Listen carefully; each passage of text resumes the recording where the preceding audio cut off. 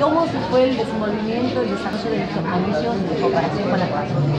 Tratando de hablar, todo tranquilo, con las demoras por el ¿Para qué hacen eso? revolucionarios, por ir para habilitar una mesa al comienzo a las 8 de la mañana, por ahí hay alguna demora, pero todo con mucha tranquilidad se.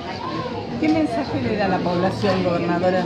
que conjunta que tenemos que elegir a nuestros gobernantes, nuestros legisladores, deben todos participar, sea la fuerza política que elijan, pero que se expresen. El voto es la única manera que nosotros podemos expresarnos los ciudadanos y elegir a nuestros gobernantes. Gobernadora, como mujer y como gobernadora, ¿qué nos puede decir? Uy, puede decir muchísimas cosas porque es muy amplia en, en muchos aspectos, pero una de las cosas que me llevo en en lo más profundo de mi corazón es tanto afecto, gente, acompañamiento, este, sobre todo las mujeres, entenderme lo difícil que es muchas veces ser mamá, ser, esposa, ser gobernadora, este, cumplir con esos múltiples roles.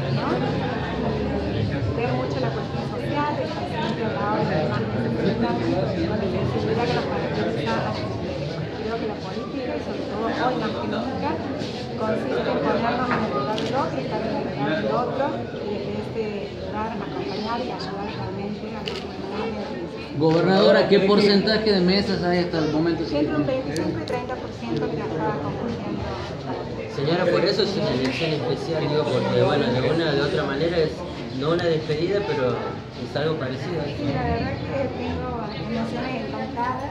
Este, creo que recién estoy ya a esta hermosísima misión con la cual hemos estado el pueblo y agradezco siempre. Y bueno, es una elección muy, pero muy importante porque se va a elegir nada más y nada menos que gobernador. Gobernador que son quienes van a guiar nuestra provincia cuatro años. Y por eso pido que también se concursan este, a votar todos los participan. no va a poder ¿Cree que van a aumentar los votantes en la general más que los pasos? ¿Qué se- se- Yo creo que sí, veo mucho más movimiento ahora en las calles que por lo general suele ser esto a la siesta después del almuerzo. y se ve muchísimo movimiento. Vení, Guille. Bueno, los pasos hemos llegado al 75%. Sí, ojalá ¿no? Gobernadora, la intimidad.